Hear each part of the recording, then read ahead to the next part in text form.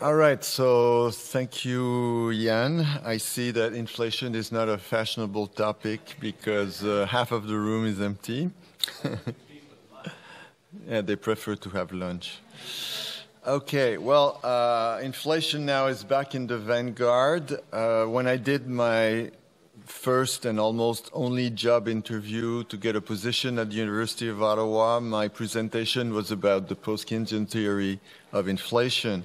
Then I wrote a paper in 1985 on that topic, and then uh, nothing except for whatever I put in the textbook. And then, as you can see, this is my sixth presentation about inflation uh, over the last year and a half. Uh, of course, you uh, you know that inflation has been uh, rising. Well, now it's going back downward a bit, but everywhere, whether it's it's in uh, industrial countries or other uh, countries. So there must be something uh, which is common to to all this. Uh, I'll start by uh, presenting. Yeah, maybe that, maybe that's the most important slide. So maybe I should wait a bit.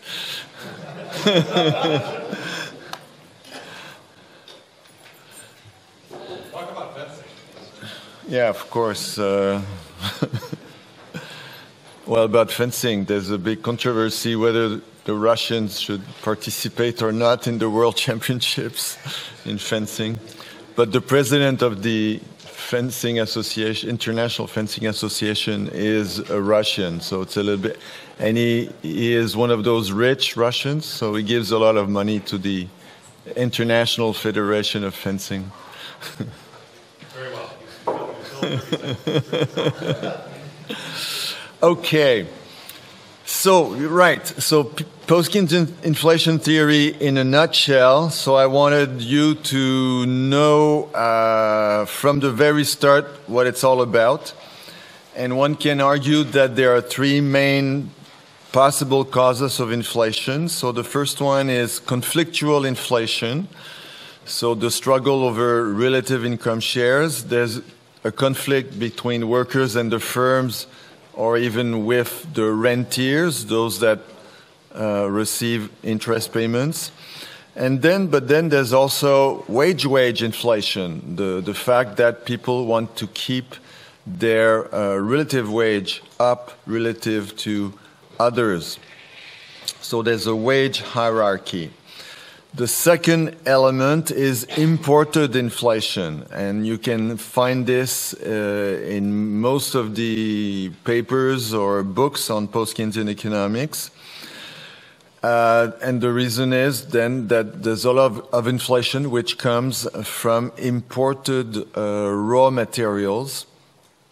And as uh, Paolo Sylos Labini said in 1979, a, there's a trilateral conflict of interest between workers, industrialists, and the producers of raw materials.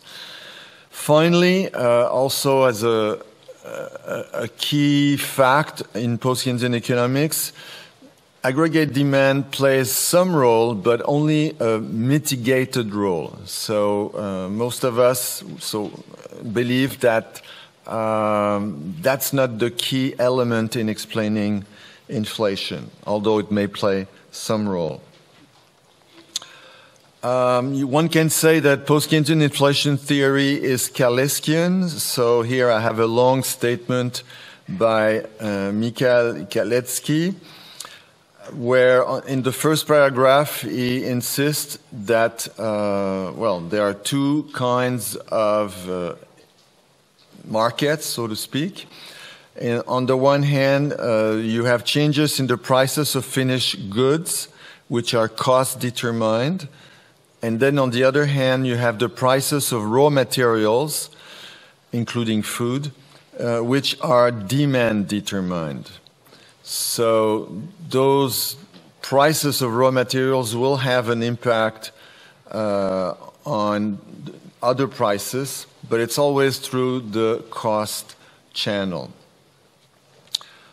Um, you can read the, uh, quickly the rest of uh, Kalecki's uh, statement. So he, he, does insist that you really have to take that into account. And also at the very bottom, he mentions the fact that these raw materials uh, can also be subjected to uh, speculative demand. So that may also play a role for these goods. Oops, wrong thing. Better push this. Uh, as most of you would know, this is how Kalecki saw uh, the cost. Well, here, here, we have the marginal cost curve. So he thought that for a lot of the level, uh, for most of the relevant level of output, the marginal cost is completely uh, fixed, and it's only when you go beyond normal capacity or uh, full capacity output that the marginal cost rises. And at the same time, so this comes from 1939, and at the same time in Oxford, you also have a similar kind of presentation. Here you have both the uh, horizontal line, which is the average direct cost, and uh, the downward sloping one, which is the average unit cost or average total cost, which takes into consideration overhead, average overhead cost. And this would be true up to full capacity output. And so th this is also crucial in our understanding of uh, how inflation can occur. Um, right, domestic demand versus world demand. Um, so here I have various statements uh, that uh, insist that the, the, commodity prices play uh, an important role in explaining domestic inflation. Um, but that these uh, prices are determined on world markets. So uh, the consequence of that is that monetary authorities have no or little control over one of the main sources of price inflation in a country. Um, so what happens is that uh, the, you know, if a single central bank tries to control inflation, it will be it will it's unlikely to be very su successful because that inflation, in fact, may be coming from uh, increasing prices of raw materials or commodities which are determined in world markets. So if we, you want to kill inflation, you need all central banks to do the same, and for instance, by raising interest rates. And here you have a, a study that was done by Perry and Cline, uh, Cline showing that uh, the reason for which we had the great moderation in Europe and in the US uh, was because of falling commodity prices and not so much because the Fed or whatever other central bank was uh, so smart. Um, Okay, so uh, what are the inductive causes of inflation? Where I have already mentioned fairness is something very important. So on the one hand, you have fairness, and on the other hand, you have market forces. Uh, this is the distinction that is was put forward by Adrian Wood a long time ago. So on the one hand, you have real wage resistance, uh, which means that uh, workers are targeting a, a, level of their real wage. And uh, this was uh, proposed in particular uh, by my former co-author, Wynne Godley. Or it was argued that they will fight over real wages because they realized that in the previous periods, profits have been very high, have been too high, and this is uh, what Kaldor used to uh, argue, and Hicks and Kalecki as well. And then there is the issue of the relative wage, which I have already mentioned.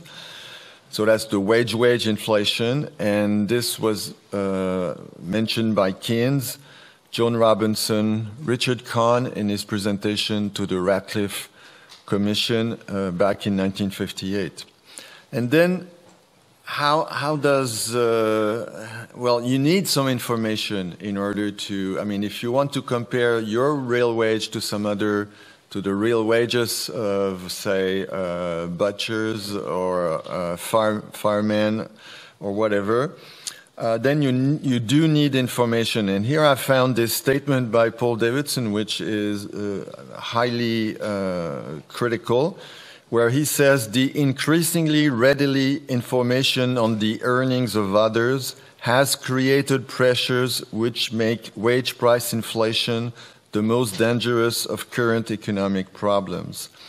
This was mentioned again uh, by Adrian Wood, and a good example of this is the salaries of top executive. I mean, ever since we know how much the top managers are being paid, the salaries of these uh, executives have, uh, you know, been multiplied tenfold or a hundredfold. And the same with ice hockey players. I used to uh, write articles and books about uh, the National Hockey League and uh, we, we found out that uh, the salaries of hockey players exploded in 1977. This was the first time that a list of all the salaries of all the professional hockey players was published. And that generated uh, salary inflation in the NHL. Okay, we can uh, contrast what I just said with the mainstream view. There are some similarities. Remember, I had ABC before. Well, we can have ABC also for the mainstream. So, uh, about uh, conflictual inflation, there's something very similar in mainstream economics. Uh, if you look at the wage setting, price setting models that you can find in the textbooks of Blanchard, or Carlin and Soskice, or even discussed at the OECD. Uh, this is very close to the post-Keynesian view on, on conflictual inflation. The uh, imported inflation is usually mentioned under mainstream uh, economics uh, with the words of supply shocks. What they use is supply shocks. Uh, but their main focus is usually on demand shocks. So the their argument is usually that, well, if there is inflation, it's either because there is an excess money supply, excess government expenditures or government deficits, rising inflation expenditures, expectations, and of course this uh, idea that there is a NAIRU and a vertical Phillips curve. Um, yeah, uh, Blanchard in a discussion or interview uh, in uh, interviewed by Brancaccio. This was in the Review of Political Economy in 2019. Said, "I have always seen the level of unemployment as reflecting in part a distributive struggle between workers and companies." So again, this looks very much like the notion of conflictual inflation, except that he's focusing on uh, unemployment or the, the natural rate of unemployment. Um, well, the, one could argue that the mainstream view, at least in the past, was that inflation is always a monetary phenomenon. Uh, and indeed, you know, you can find a relationship between the evolution of, say, the rate of growth of the money supply and the rate of growth of prices. But from our standpoint, from the post-Keynesian standpoint, this is just an example of reverse causality, because in post-Keynesian economics, for us, money is endogenous, and therefore the way it should be read is that it's the, it's the increase in prices that or output that generates the increase in uh, money demand and hence in the stock or the supply of money. Uh, however, we must certainly also be aware that, well, uh, you know, if you have more credit, then you have more expenditures. Uh, and so this may be a link with respect to uh, inflation or at least economic activity. In fact, I just read a paper uh, where the person was arguing that uh, okay now we cannot rely enough on money aggregates to explain inflation. Let's rely on credit aggregates. So this was somebody somebody somebody from the bank for international settlements okay so this was just an introduction sorry for those who arrived late because you missed the key uh, diapo. so here is now the outline. So again, I'm going to give some background information. Then I will focus more on some equations. First, within a closed economy. So I'll talk about the dot approach to conflictual inflation. Then I'll talk about wage-wage inflation and then add to it uh, the possibility of uh, increases in productivity. Uh, then I'll talk about the more specifically about the Phillips curve. And so I'll start again with the dot approach, but this time including unemployment or unemployment rates. And then there is this other approach, which uh, one can call the Heinz Stockhammer approach, which uses uh, or considers the existence of a NAIRU, or a natural rate of uh, unemployment. And then I'll finish with the open economy, uh, take into account these imported raw materials that I was talking about, and then I'll finish off with uh, the idea of high or hyperinflation. Okay, so some background. Well, first, conflictual inflation is everywhere, at, well, in post-Keynesian books. uh, all, all, the important earlier, earlier post-Keynesian works emphasize conflictual inflation. So here I, have a list of them, uh, all books that have inspired me. Uh, well, mainly books. There's also the article in the Journal of Economic Literature by Alfred Eichner and Jan Kregel. But, you know, all these books, all the way to Tom Palley, I saw him there, uh, they, they all discuss inflation, uh, attributing it to some kind of conflict, uh, at, at, least in part, uh, and, and often in great part. Um, and you can find statements. Uh, I'll start with Joan Robinson. Uh, then she says, when it's in italics, it's a direct statement from the person. So there is then a head-on conflict between the desire of entrepreneur to invest and the refusal of the system to accept the level of real wages which the investment entails. Uh, and, and, so what she has here is the inflation barrier. That's her, her, her, notion that you know if the level of investment is too high, then it means that real wages have to be low. This is more like a Sraffian uh, view, at least of the time. And so there is an inflation barrier. Uh, the the entrepreneur will not accept uh, need to have lower real wages, but the the workers refuse that. Um, Bhaduri, who uh, was uh, a, really a Kaleckian uh, post-Keynesian, argued that this generates conflict rather than cooperation among the classes, which expresses itself through the inflationary process. This pushes the capitalist economy towards inflation not only through the operation of an inflationary barrier. So there's not just the inflationary barrier, it can go beyond that. Uh, in the 1970s, you have again similar statement. Paul Davidson saying the distribution of income is both a cause and a consequence, uh, whoops, there's a S, and a consequence of inflationary processes. And uh, the article by Alfred Eichner and Kregel that I mentioned, they argue in their survey of post-Keynesian economics that at the heart of the inflationary process is the question of relative income distribution. And then below you have a statement by Robert Rowthorn, a, a, paper published in 1977 in the Cambridge Journal of Economics, and this is often taken to be the first clear presentation of conflictual inflation. And in fact, the Rowthorn paper is now being cited by, a, a, I've seen a couple of mainstream authors, some of, some of them quite well known, who have, have been citing uh, Rowthorn in their explanation of inflation.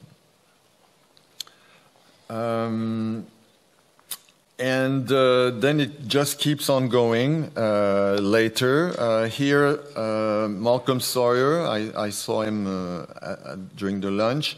He says the view of inflation, uh, often described as a conflict theory of inflation, could be seen as a development of Kalecki's ideas. This is just what we saw. Uh, Cardim de Carvalho, uh, the well-known uh, Brazilian post-Keynesian back that's 30 years ago, said inflation should be seen as a process of conflict over income shares. And uh, Burdekin and Burkett, uh, who are not as well known, but they have written many uh, papers, uh, in particular about the German hyperinflation episode, and they have a whole book about conflictual inflation. Uh, they say inflation is the symptom of deep rooted social and economic contradiction and conflict. So uh, it has always been there. Uh, I, I, and and, uh, and on the other hand, there is this view that well, aggregate demand may not play such a large role in explaining inflation. So here you have Cripps, uh, again in the Cambridge Journal, Journal of Economics, 1977, claiming that excess demand provides at most only a minor component of a comprehensive explanation.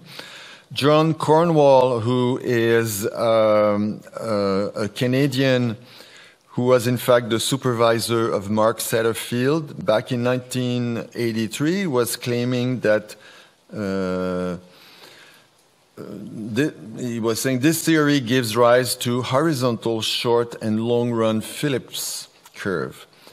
And uh, again, my former co-author, Wynne Godley, saying, I do not accept that it is a foregone conclusion that inflation rates will be higher if unemployment is lower.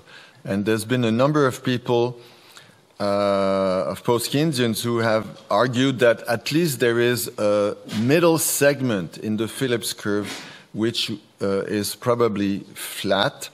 And even uh, Lipsey, who is the, the one who mainly made popular the, the Phillips curve among uh, his neoclassical colleagues, has argued that there is a non-inflationary band of unemployment, which uh, looks, so it looks like this. He calls it the NIBU, non-inflationary inflation band of unemployment. okay, so, uh, so, uh, so what? So when I when I did make my presentation at University of Ottawa, I was asked to speak for one hour. They were desperate to hire someone uh, because it was very late in May, and they still were missing a professor. They told me if I can speak for one hour, they will hire me, which they did. and uh, so you can start from a, a kind of uh, markup equation and uh, at, at, the end, you get what is written there with equation 2, that the rate of growth of prices is equal to the proxy of the markup uh, plus uh, this second component. Whoops, wrong button here. so if we start from this, then it seems that there are two possible sources of inflation. Either there is an increase in the profit margin of firms for various reasons, or uh, it could be that there is an increase in nominal wages, which is faster than that of labor product productivity. But you know, if K is a constant, does it mean that on, only the wages are responsible for inflation? And so Bhaduri says no. Uh, th there's a mutual feedback between prices and money wages that clearly makes it meaningless to single out either as a causal factor. So things are a little bit more complicated than just looking at the previous equations. And this is what uh, I will be doing in, in some of the following uh, slides. There's a, some kind of irony in how people interpret inflation, in the sense that left wing or heterodox uh, post Keynesians usually tend to blame the unions for generating wage increases. And uh, even Keynes uh, was saying, well, uh, you know, in the long run, uh, it's what explains inflation is the differential between the rate of growth of wages and the rate of growth of labor productivity.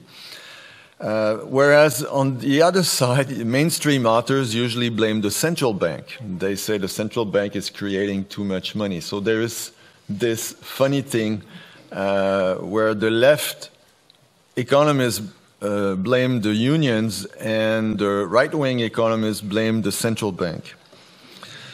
And uh, there we go. Now that we have MMT saying that there is no problem in having deficits and uh, financing it through the creation of money, then you have politicians from uh, the in, in the Senate, Republicans who are saying they were saying back in 2019, if uh, we keep following MMT, this will lead to higher deficits and higher inflation. And of course, it was said and argued again uh, in 2022.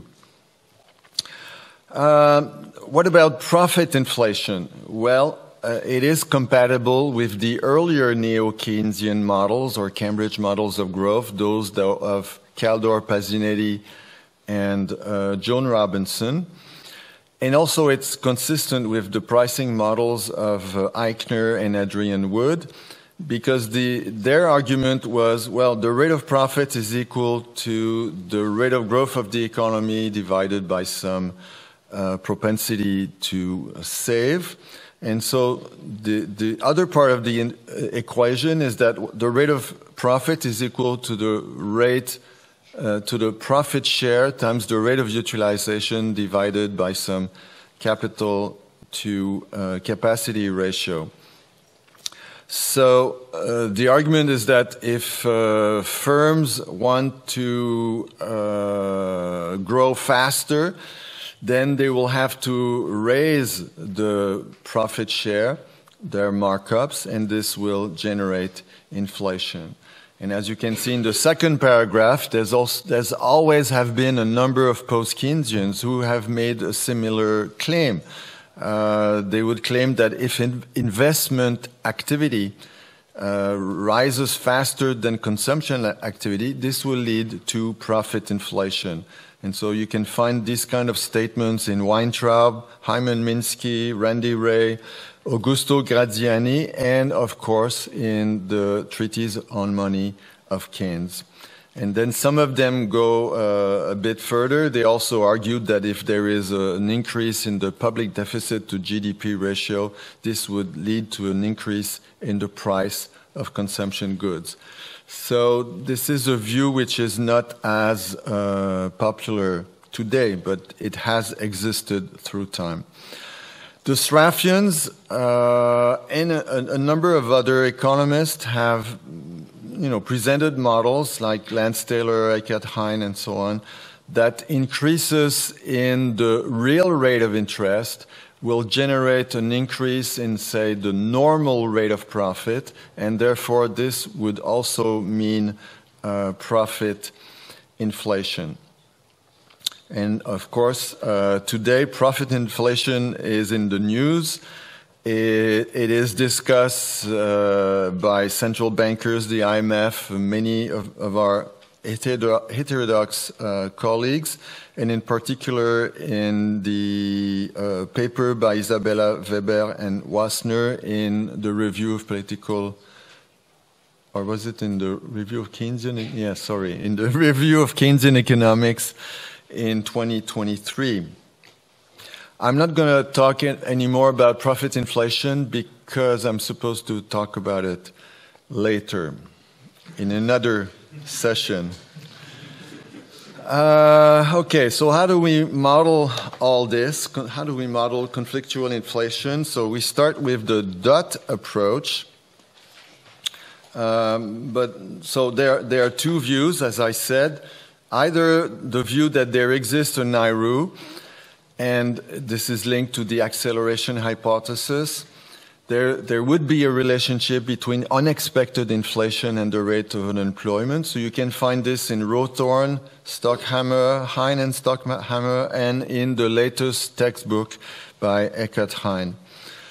And then there are others who tend to say that there is no NAIRU, uh, but that there might be a relationship between now it's the rate of inflation, not unexpected inflation but just inflation and the rate of unemployment. So you, you can see that lots of authors have taken this view uh, in the recent past. Okay, so what's the dot model? Here I take the equations from my uh, textbook. Uh, well, it simply says that wage inflation, so W hat is the rate of growth of wages, depends on the discrepancy between the wage target of workers and the actual, well, the real wage target of workers and the actual real wage of the previous period. And it also depends in some measure on past, the past rate of price inflation. And what about, and then in a symmetric way, uh, the rate of growth of price inflation or, the, or price inflation is the equal to the discrepancy between the actual real wage, which we suppose to be bigger than the real wage target of firms. And it also depends on the wage, the current wage inflation or the wage inflation of the previous period. And so from there you can compute what will be, that's the, yeah, that, that's the equilibrium real wage that will arise from these two equations. And this is the equilibrium, well, in, the medium run, so to speak, when wage inflation and price inflation equal are equated, then you can see that it will mainly depend on the discrepancy between the real wage target of workers and the real wage target of firms and it depends uh, on these various parameters. Uh, everything here is expressed in terms of uh, wage shares or real wages, but you could also put this in terms of uh, markups or profit shares. Okay, here is a description of the inflation barrier of Joan Robinson.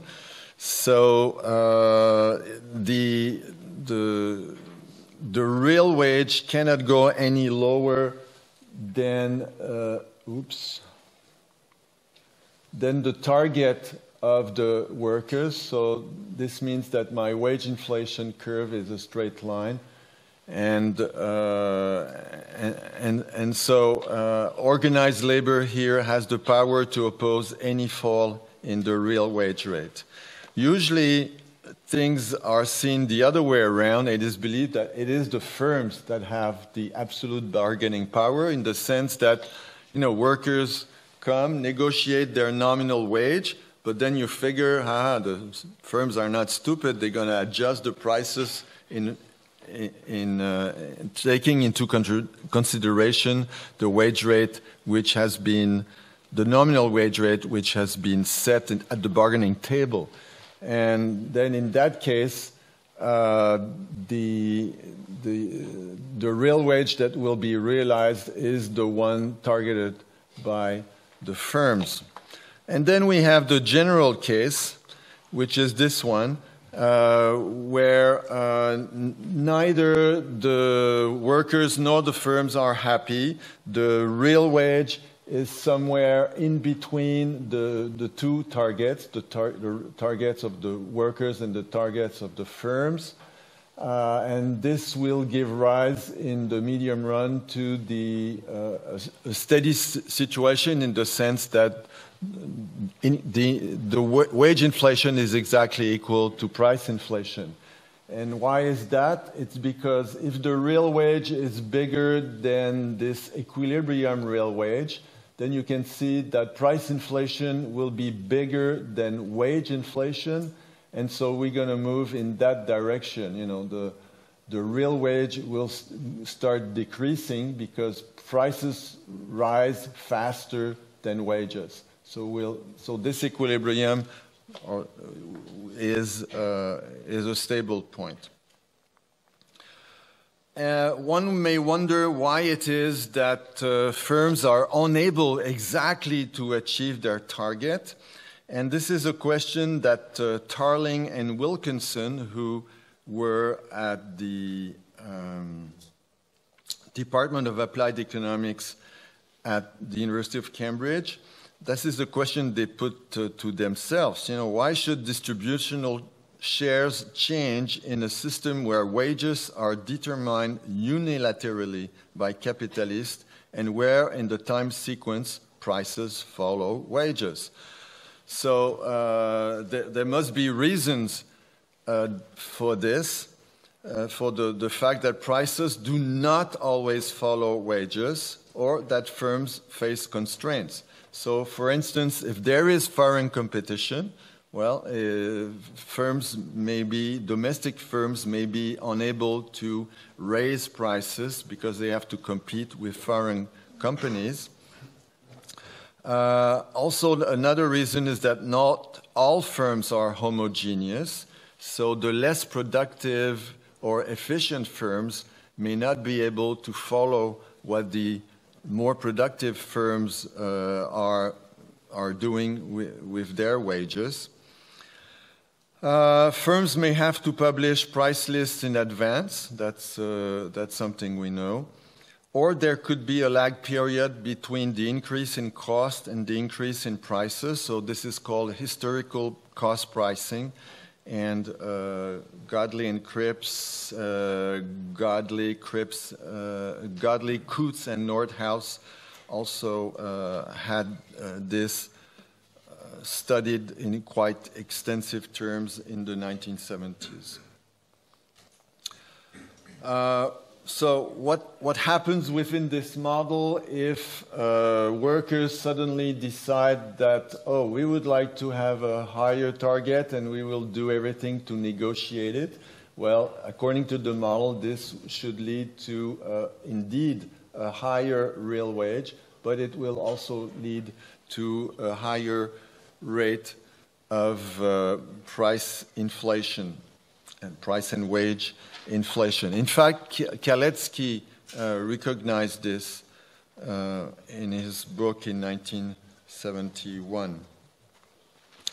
Uh, what would governments, uh, I mean, governments keep telling firms today that, oh, uh, you guys shouldn't be abusing the market. So really, uh, you know, that uh, firms are in part responsible for the increase in the rate of inflation. So in the term of this model, the way we can interpret it is that the government is telling the firms, well, you guys should accept to have a, a, higher real wage target, or if you want, a lower profit margin or lower markup, which means that the price inflation uh, line would shift down, and this would mean that we would get a higher real wage, but a lower rate of inflation. So if you wind up with a higher real wage, it may lead to a higher rate of inflation, or it may lead to a lower rate of inflation, depending on who is making the move. Okay, uh, wage inflation, and productivity growth. So uh, already, I've already mentioned that for Keynes, uh, protecting the relative real wage is something very important. Joan Robinson said in 1962 the causes of movements in money wages are bound up with the competition of different groups of workers to maintain or improve their relative position. But the one who insisted the most about wage wage inflation is Richard Kahn. The main cause of inflation is the competitive struggle between trade unions and different sections of labor. I was on the bargaining uh, committee of my university, of my uh, uh, prof u, Professors Association at the University of Ottawa uh, for two bargaining uh, sessions. And uh, in, on both occasions, we, we hardly spent any time discussing past inflation or expected inflation well, maybe five minutes uh, in negotiations that would last uh, dozens of hours. But we, we would spend uh, 10, 12, 15 hours discussing how our wages at University of Ottawa could be compared with the salaries of other universities in Canada of a similar size. This is where we spent all of our time and uh, also getting the data. So wage wage inflation is something uh, important, and this has been recognized by some of these other authors and also by people in industrial relations. Oops, uh, yeah. Wage wage inflation. Well, even if, so if we look at this line here and that line, uh, so that's my wage inflation line, but without wage wage inflation, even if uh, the the workers and the firms agree on the same real wage target, because there is this term here which represents wage wage inflation, then what will happen is that we will wind up with price inflation, even if workers and firms agree on the same real wage target. So wage wage inflation, in my view, is important. But then we also have productivity-led inflation. So here you have a statement by Amit Bhaduri, who argues that, uh, yeah, uh, if there is productivity increases in some industries, this, this will probably lead to uh, wage uh, increases in those industries, but the other industries, even if they don't have productivity increases, will do the same. And so uh, you have a propagation effect of, of wage-wage spiral, which tries to restore the relative money-wage structure. And uh, John Hicks also emphasized that. So you can use the same equations, but now you just, so this was the wage inflation term, and this is the productivity inflation term. So, uh, and uh, so the wage inflation will be higher because of this productivity term, and firms will pass on to consumers only part of the productivity gain. So in, in, they will reduce prices, but only in part due to the productivity gains. And so in the end, you can see that uh, the real wage will depend on this uh, term here that relates uh, to the rate of growth of productivity. Uh, and this has been discussed by the French Regulation School, where they consider does an increase in productivity lead to uh, a, a bigger wage share? In, in which, if it does, then they call this the Fordist regime. They, they argued that this was the case in the 60s. Uh, but otherwise, uh, we have an anti for, for this regime. And Robert Boyer has been uh, explaining this in great detail. Um, so here what happens is that now we need wage inflation, which is here, to be equal to price inflation plus the rate of growth of labor productivity. So the, there are more curves around, more confusion. Studies, uh, students love this. and so do you, I'm sure. Okay, the Phillips curve. Uh, so we start with the dot approach to the Phillips curve. In fact, nothing is changing. We just add this component here. We are saying that the real wage target is a function of something. It's a function of the rate of unemployment. So the higher the rate of unemployment, the lower will be the real wage target. And so you can play around with these uh, equations. And at the end, uh, well, you get something very, uh, an, an, equation that defines wage inflation in a very similar way as before. You know, it, of course, it still depends on the discrepancy between the real wage target of workers and that of firms. And in the long run, uh, what you get, assuming that the price inflation today is the same as price inflation yesterday, in the long run, you get a downward sloping Phillips curve. And even if firms have the upper hand, meaning that uh, psi 2, uh, where is it? Psi 2 here. So the it's kind of a coefficient of indexation, uh, even if it's equal to 1, meaning that the firms have the power to set the real wage.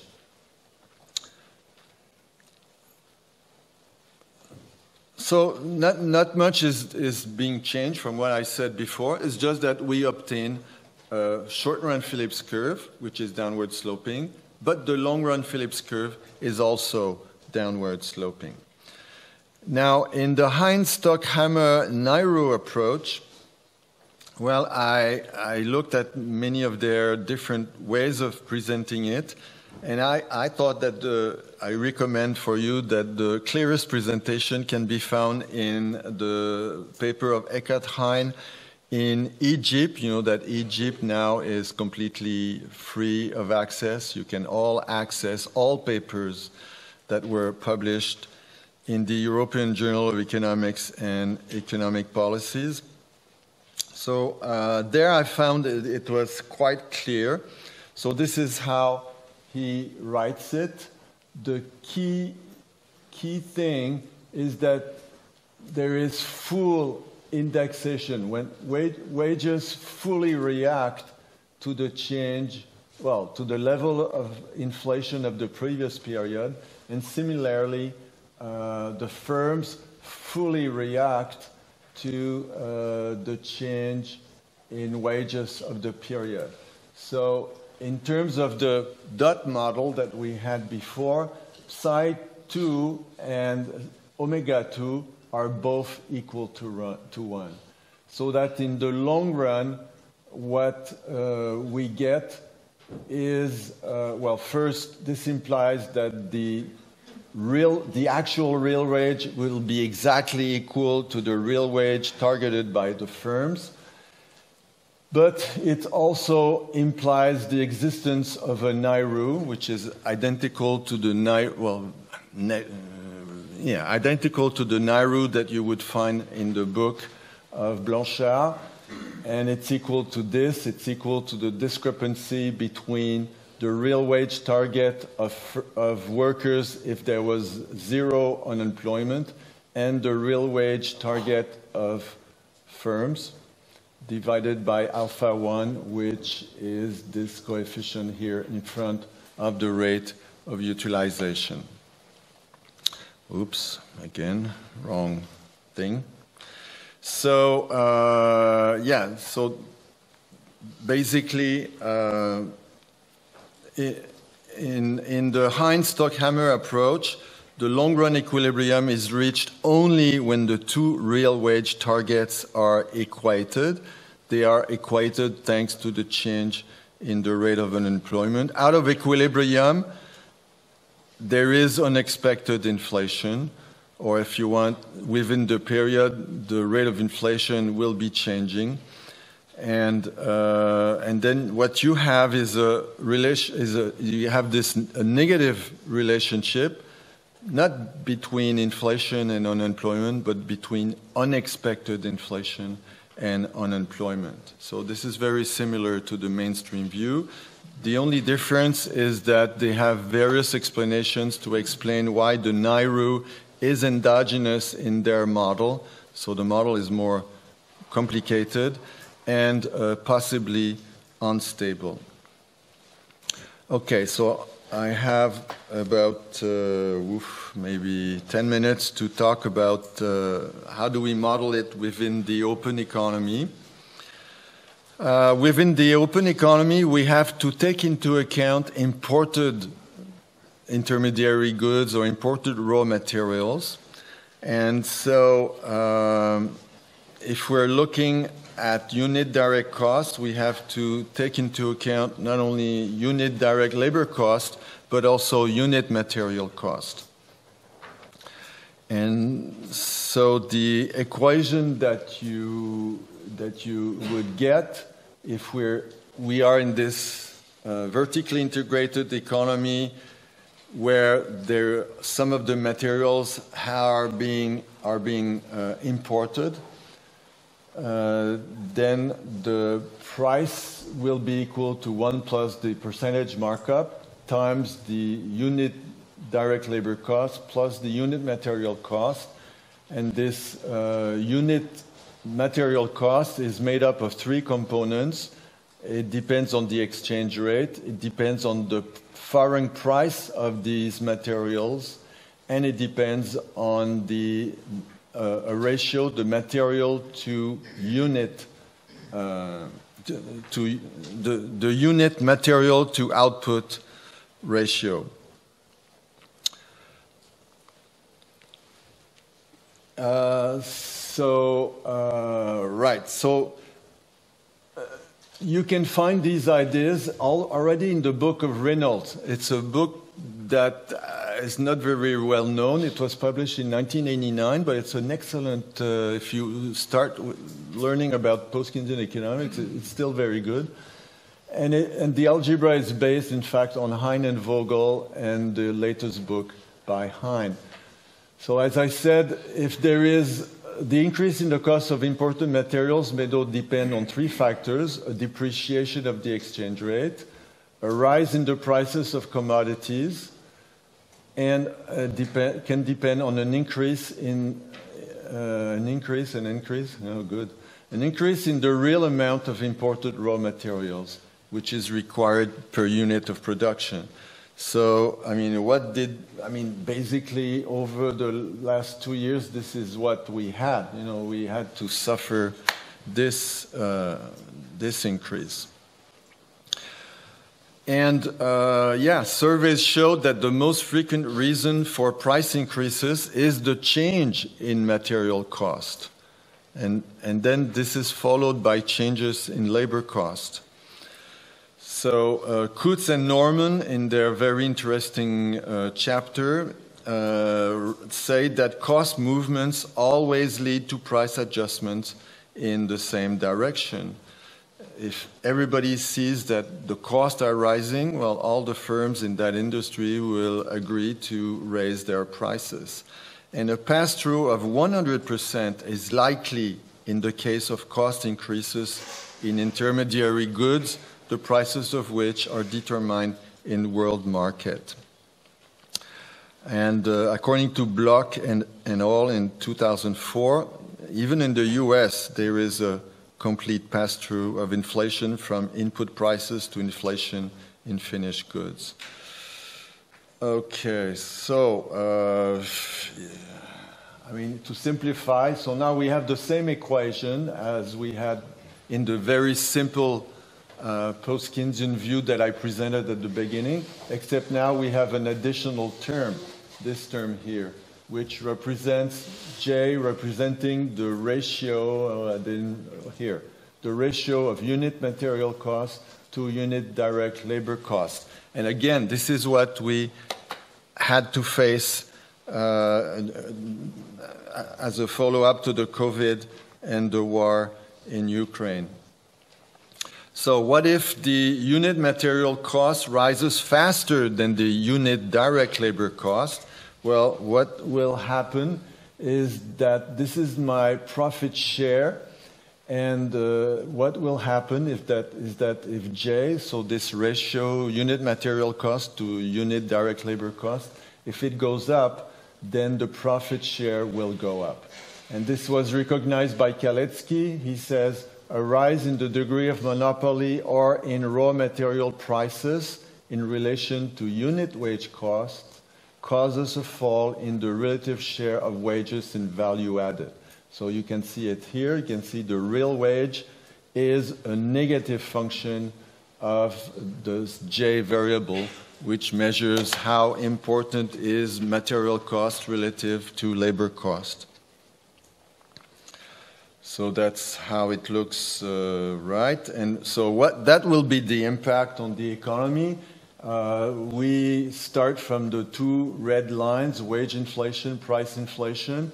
And if there is this increase in the cost of material cost, uh, unit material cost, then the real wage being targeted by firms uh, will be smaller than it used to be. This will lead to a reduction in the real wage, and it will lead to an increase in price inflation. Um, there is a slightly different thing uh, which has been presented by Moore Lin, who uh, is a young scholar. So he has uh, two sectors one which produces investment, which he considers to be the tradable good, and then there is a consumption good, which is non tradable. And he assumes that the tradable good is uh, subjected to the law of one price, that it depends on world prices.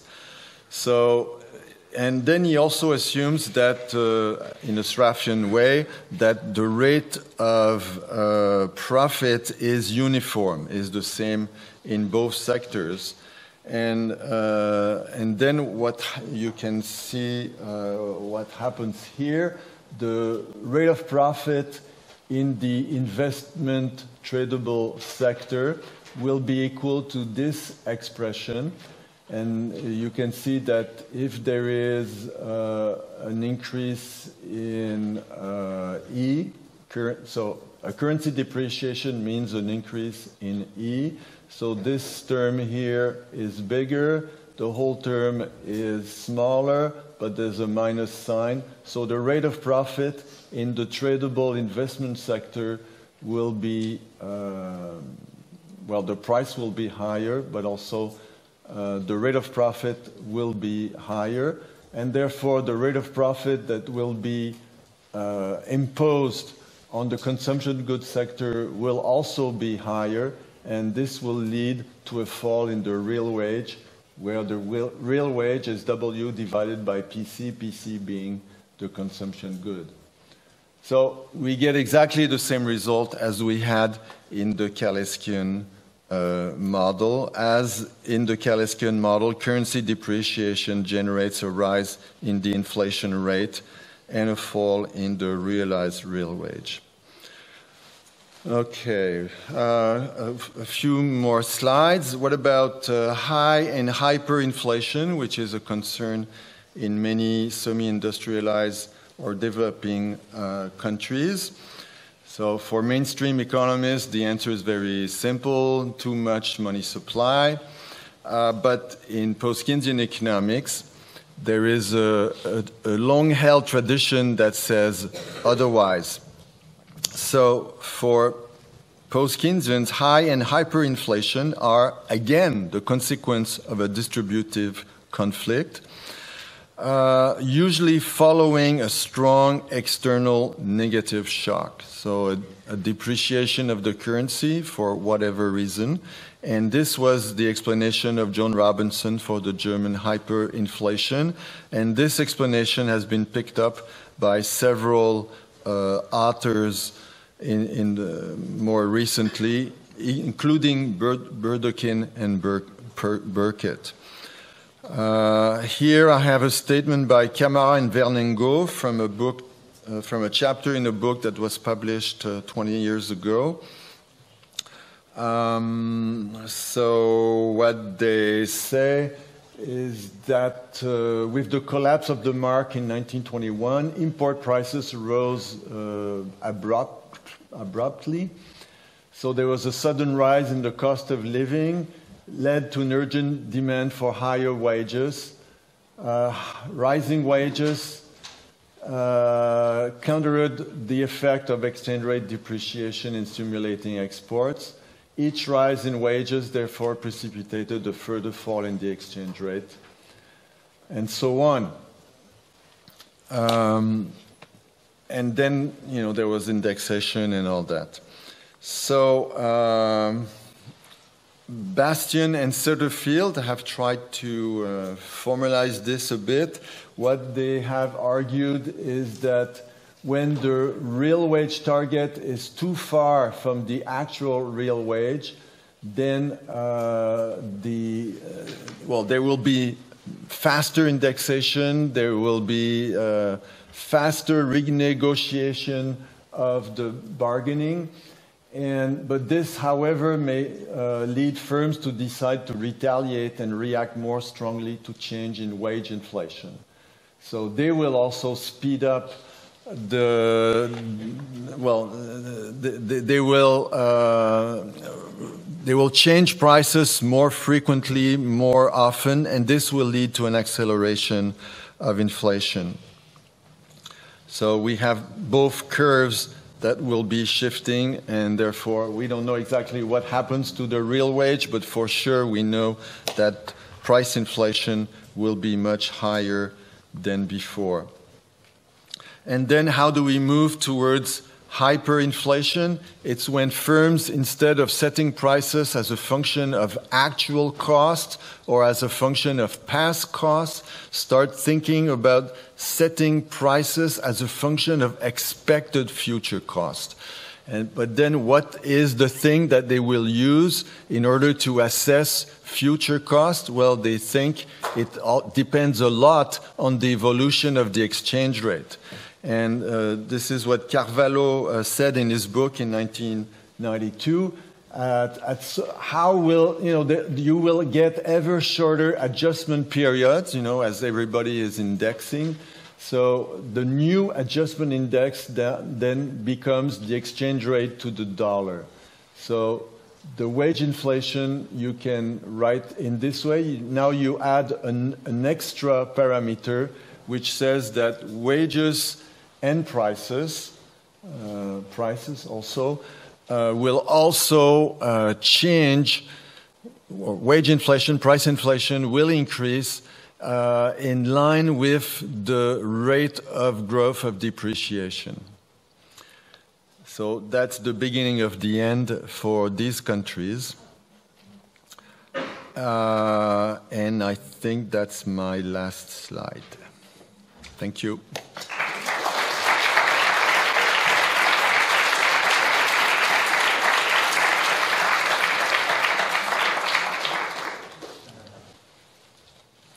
So, questions?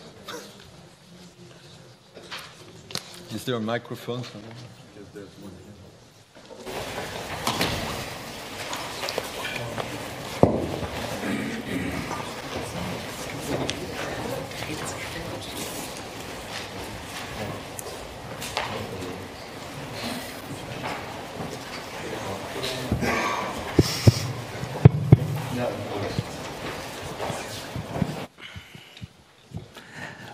Okay, so thank you, uh, Marc, for the insightful lecture. Uh, so, for those of us used to engaging with the mainstream economists, it's very refreshing to hear a lecture on inflation that doesn't mention the word uh, nominal rigidities a single time. Uh, so, I was, you know, I'm, I'm kind of very curious on what do you think is the role of nominal rigidities in the post-Keynesian theory of inflation, right? If I recall correctly, uh, in the Rowthorn article in 1977, he derives his wage equation and like the omega 1 parameter is a function of the number of times uh, that uh, wages are bargained in a, in a single year. So he does seem to assume some wage rigidities. Um, and also, I, I don't know if you're aware of this, but uh, Werning and Lorenzoni, so two MIT economists, just published a paper called uh, "Conflict is Inflation," which is basically follows the the standard uh, post-Keynesian model. But they argue that these omegas, right, that you presented, are a function of nominal rigidities. So in their in their paper, when you get to a flexible price equilibrium, kind of conflict inflation disappears, right? So I wonder what, what is the interaction between nominal rigidities and conflict inflation? Do you see this as central to a sound theory of inflation, or do you think that everything you said holds uh, in an economy with flexible prices? Thank you. Okay, I'm not sure I understood the question, but uh, I, you know, I, if I understood well and if I can give a reasonable answer, basically, I would say that uh, yeah, indexation is something which is likely to accelerate inflation. So, on the one hand, indexation looks like a great idea because at least when inflation changes, uh, wages can follow suit, so you don't lose. But in general, you would like wages to grow faster than prices because you know you you would hope that the economy has some increase in labor productivity. So, uh, in indexing wages to prices under some circumstances may not be such a good idea. And just to give an example, you know, everybody's talking about uh, inflation targeting 2% uh, in Europe, in the US. But if labor trade unions focus on this 2% and only ask for 2%, then they're losing out. You know, because with, if there is labor productivity, they should be asking for more than 2%. And, and in general, uh, indexation by many post-Keynesian or heterodox economists is considered to be a dangerous mean towards rising inflation. You know. Uh, Lance Taylor, Wynne Godley, all these people have taken this position. Maybe. Yeah. Uh, hi, Professor. Thank you for that. Uh, Can you speak up? Sorry. Because yeah, hi. Uh, so uh, thanks for the presentation. I just wanted to ask something. Uh, so we talk a lot about markups and monopoly, and uh, there is some literature coming from the mainstream uh, which talks about monopsony or labor market concentration. Is there anything uh, or any existing post-Keynesian framework which looks at how labor market concentration might affect inflation or income distribution? thanks. Well, uh, in, um, among post-Keynesian economists as such, perhaps not that much, but uh, among people who,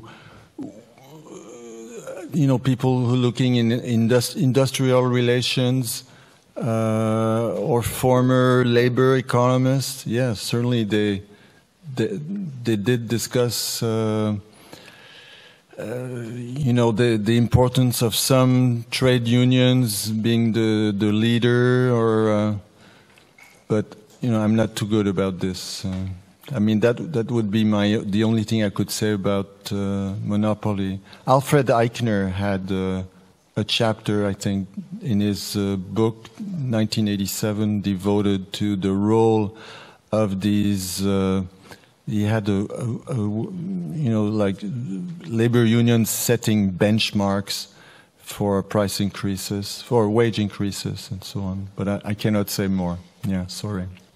Thank you. I know a lot of things but not everything Okay, Professor Lavoie. So thank you for your interesting conference. You know, I really love uh, mathematics, you know, so I appreciate the fact that you use them quite a lot. But nevertheless, you know, I have some slight doubts, you know, so I'm going to take a little bit of aim at you. I really hope that you don't mind. You know, in the sense that, uh, you know, when you were speaking particularly, you know, about wage-wage uh, spiral, you know, and uh, you were talking about, you know, uh, like uh, real target, you know, like about real wages, you know, but of course, you know, I mean, mathematically speaking, you know, it's, uh, I mean, it's a beautiful model, you know, on a theoretical level, you know, but it's uh, really complicated, as you surely must know, you know, to come with an analytical solution, you know, to this problem, you know, and then, uh, you know, another thing that I really wanted to comment on, you know, I think that, um, you know, in your conference, which is otherwise great, you know, but, um, you know, at times I think that perhaps, you know, productivity, you know, should be taken, um, you know, a little bit more into consideration because, you know, uh, during the last uh, 30, 40 years, you know, there has been, uh, you know, a really important growth in productivity, you know, and uh, actually, you know, the inflationary, uh, you know, episodes, you know, that we had, you know, were mostly linked, you know, to exogenous factors, but of course, you know, I do not say exogenous factors like in this kind of neoclassical way, but rather, for example, like uh, some of the facts that you mentioned, like the war in Ukraine, for instance, you know, the growing financialization, you know, of the economy, you know, I'm speaking, you know, I'm referring to this, uh, you know, commenting, you know, in the line of Michael Hudson, for example, you know, I really appreciate his work, you know, so, so you know, so just, uh, you know, if you, if you'd like to comment a little bit, you know, on what I'm saying, you know, just your thoughts. Thank yeah. you. Uh, I can't get this out. Um, well, I'm not sure what the question is exactly. uh, So let me repeat. I mean, so first of all, I mean, so I think that uh, you know there should be more focus on productivity. I mean, you know, you know that is one point. And then, you know, when we speak, you know, about real wages, you know, so in mathematical terms, I mean, we usually can come up with an expected value, you know, in mathematical terms, you know, but it's really hard, you know, to find an analytical solution, you know, for the theoretical models, okay. you know. Okay, well, if I can comment uh, here. Of course, these are models. We assume that we can easily compute what the real wage is. We can, that we can even say something about the real wage target, or we can say something about the average productivity level. But in, in reality, things are quite complicated. Uh, and we had a very good example during the COVID, where in the second quarter of 2020, the real wage exploded up. Uh, but the, the reason for this was simply because all these restaurants, hotels, all these services were just closed down. And so all the, the wages in these services is very low compared to what it is in manufacturing or uh, other occupations. And the same with respect to labor productivity. The labor productivity jumped up in 2020 second quarter. And uh, I've said this in, uh, when I was in Brazil in July, but this creates great difficulties for macroeconomists because usually when the level of output falls as it did in the second quarter of 2020, well, uh, labor productivity goes deeply down. But during the COVID, it suddenly went up. So anybody doing empirical work in the near future, like some of you, uh, will have a very hard time dealing with that quarter. yeah, next question. Sorry, I can't say more. Who has the, or who wants to speak, ask a question?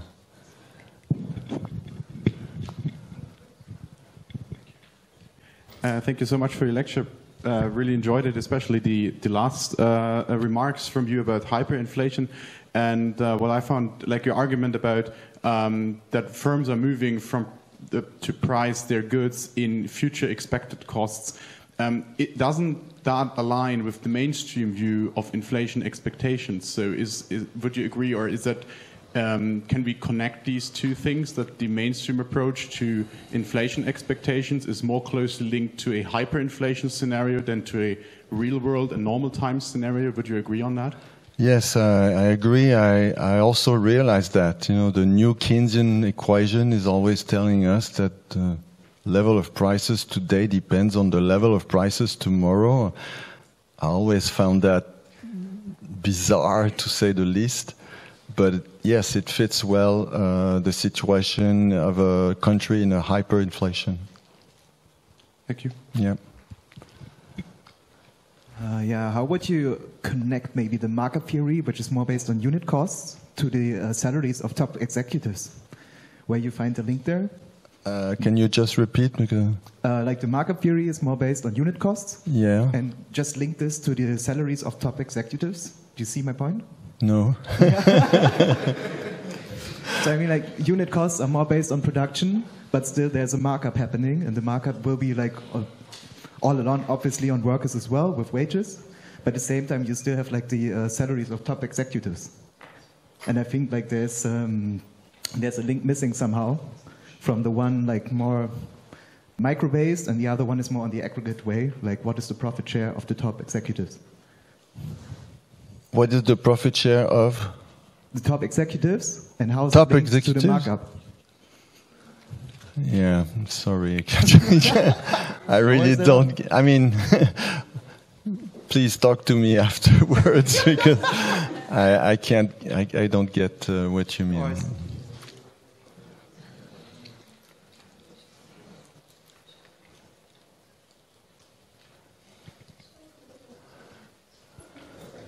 Thank you for your presentation. Since the Werning conflict inflation paper was already mentioned, I was wondering about your thoughts about sort of the mainstream. And I mean, Werning posted on Twitter that he engaged with Rowthorn and writing this paper.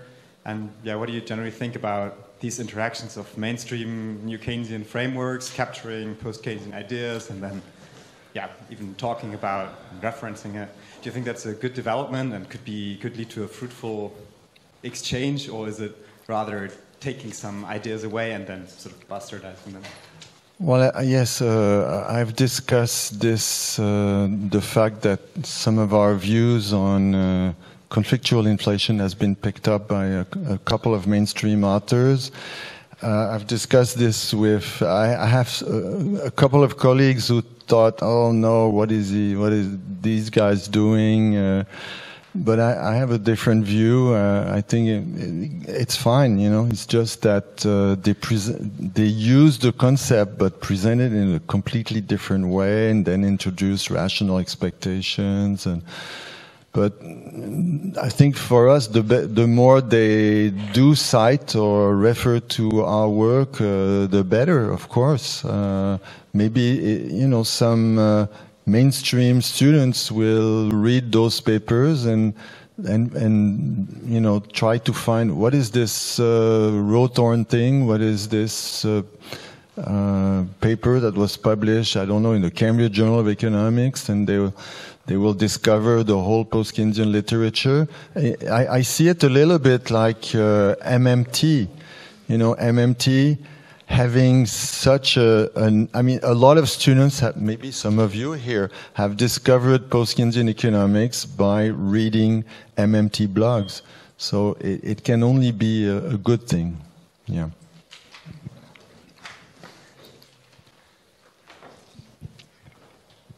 Hi, thank you for the presentation. Um, I would like to um, ask you if it is if it is, there is a role for misconduct of policy. I don't know, a wrong monetary policy or wrong fiscal policy in this scheme that can activate maybe the like this mechanism of wage and, and prices spirals, or is it not place for that? Uh, I'm, I'm, well, what activates it, in my view, is uh, what's happening at the world level on the, you know, the aggregate world demand for these commodities. I think this is the, uh, you know, in, in 2008, the inflation rate in the US and in Canada, at least, I don't, was uh, starting to rise. And then I was, you know, was starting to go up. Instead of 2%, it was more like 3.5%. And I was wondering, aha, you know, what is the Bank of Canada going to do? How are they going to manage to stop the inflation from being so high? And then we had the financial crisis.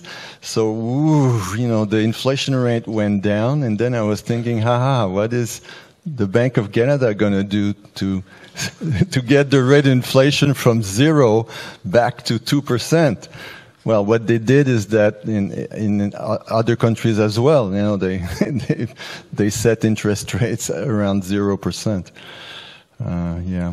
So I I think. Uh, uh, as I said in one of the slides, I really think that a lot of the inflation is generated by the what happens at the world level with respect to you know oil prices and, and, and so on, raw materials, some of the food prices. Yeah. Yes. Well, no, you're supposed to let uh, younger ones first, but. Okay. Well, well, unless unless. The... Well, I think I'll quickly go ahead and then yeah, we can move on for sure. Um, yeah, as one of the aforementioned, well, younger people who then discovered post-Keynesian economics by reading MMT blogs, what I would be very curious about is that uh, with MMT, there's a big string of literature where they identify the government as the source of the price level, and then would uh, say, well, particularly with these hyperinflation cases, um, the thing that is going on there is that the government is then issuing far more currency, say, for labor, and that then sort of um, lets the price level increase. And I wanted to ask generally what's your view on that and how can that maybe be integrated into a post Keynesian approach? Does that fit in sort of a broad tent or what's, how can one have a dialogue there between those people and the Nauru people? I'd be pretty curious to hear your thoughts on that. Yeah, well, I, I have some difficulties uh, in uh, taking on board this kind of uh, fiscal theory of the price level which is advocated by some mainstream authors and also by uh, at least some MMT authors. Uh, you know, I have have some doubt. I mean, the the examples which are usually being given is something like, haha, let's imagine a world in which uh, the only money that can be created is created by the government, and you have to pay taxes. So everybody is, is being forced to pay, say, 1,000 euros of taxes.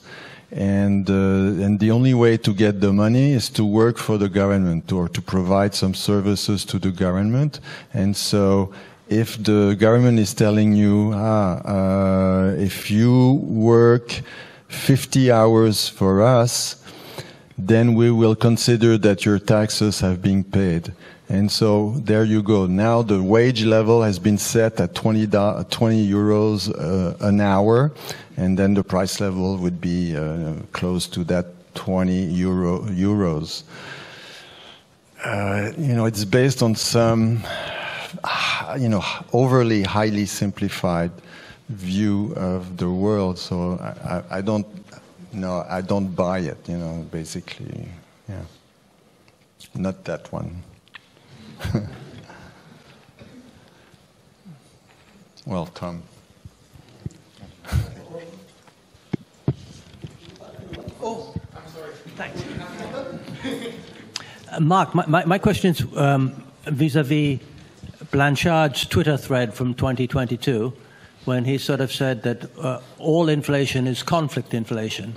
So, sort of conflict inflation is the only inflation. Do you agree with that, or do you think there are other types of inflation?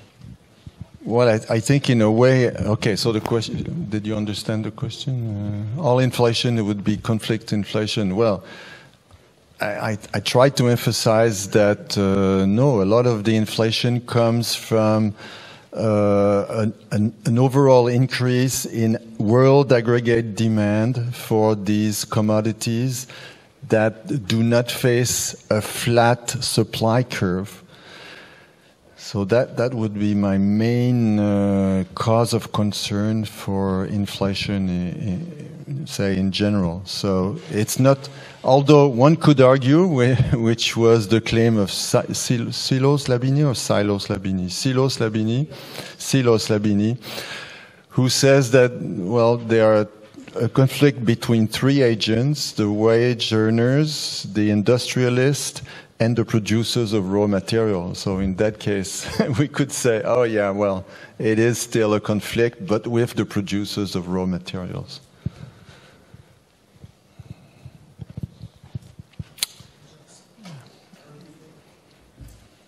Yes. Yeah, I'm sorry. Yeah, uh, Marc, uh, you know, some of the colleagues, you know, touched upon uh, the MMT theory so I think, you know, it's uh, perfectly valid, you know, in many senses. I just, uh, you know, would like to know your opinion. You know, this is something that Yanis Varoufakis, you know, has been discussing quite recently. Uh, you know, it's uh, about the role, you know, of the debt and the trade war, you know, that uh, the United States, you know, has with uh, China you know, so because, you know, uh, China has a large swath of both uh, public and private debt, you know, of the United States. So how do you see this whole situation evolving in the future? Okay, so I, if I understand the question, the question is about uh,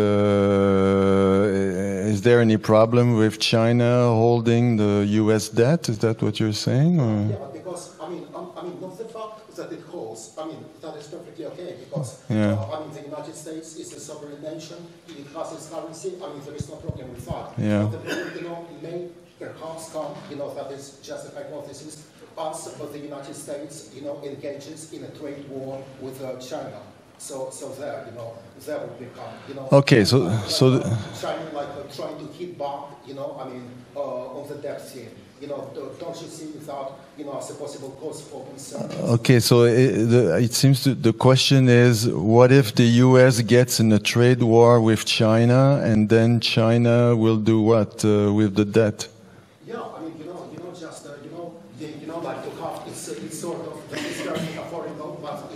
Like that one moment.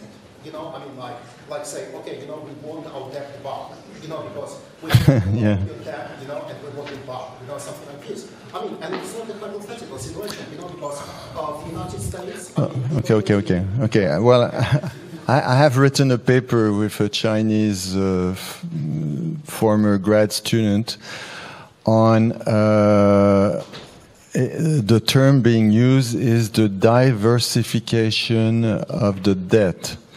So the, the paper was a stock flow consistent model, and we, we were trying to figure what will happen in a three country world, so US, China, the rest of the world, if the Chinese decide that they don't want to hold so much or a smaller share of their debt in American dollars or from the US and now want to hold more euros.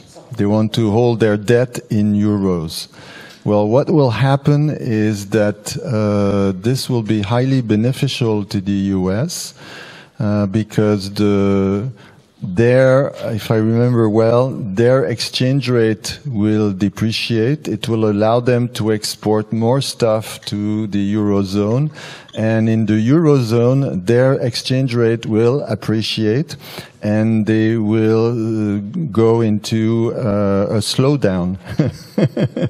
so, uh, and the, this issue of, of, diversification was discussed a lot maybe 10 years ago when we wrote the paper, but it had also been discussed a lot 30 years ago when the American dollar was not seen so much as such a safe currency. So it, it's, not, uh, it's not in the interest of the Chinese to get rid of their American debt. So if they my book has been translated into Chinese, the one with Wynne Godley. So if some official has read it, then they, they will not get rid of their American debt. okay, I guess uh, it's 2.30, so thank you very much.